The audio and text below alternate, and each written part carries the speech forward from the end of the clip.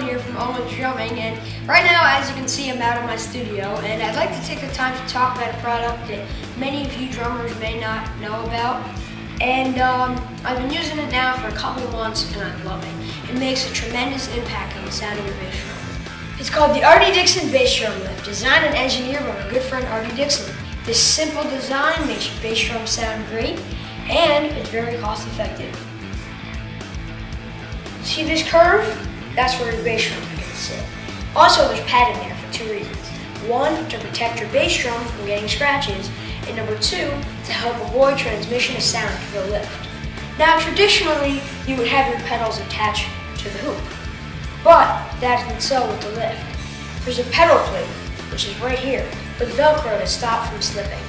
What this allows you to do is this allows you to position your pedals so they hit in the sweet spot of the drum, a 1 to 2 inch radius around the center. The lift is really simple to install. All you have to do is put it where you would normally attach your pedal to the hoop and tighten it down. Now the lift is ready to be installed on the bass drum. All you have to do is lift up your bass drum, put it under, making sure this is not on the hoop. You want it to be behind the hoop. Straighten it out. Perfect sweet spot. From this angle, you can see how truly effective the Arti Dixson bass drum lift is. As you can see, my bass drum is level, resulting in much more projection, punch, and low end.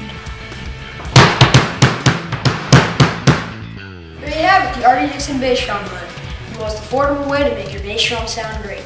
Check it out at www.bassdrumlift.com or visit your local music store for more information and to hear it for yourself. Thanks for watching. I'm Owen, and I'm out.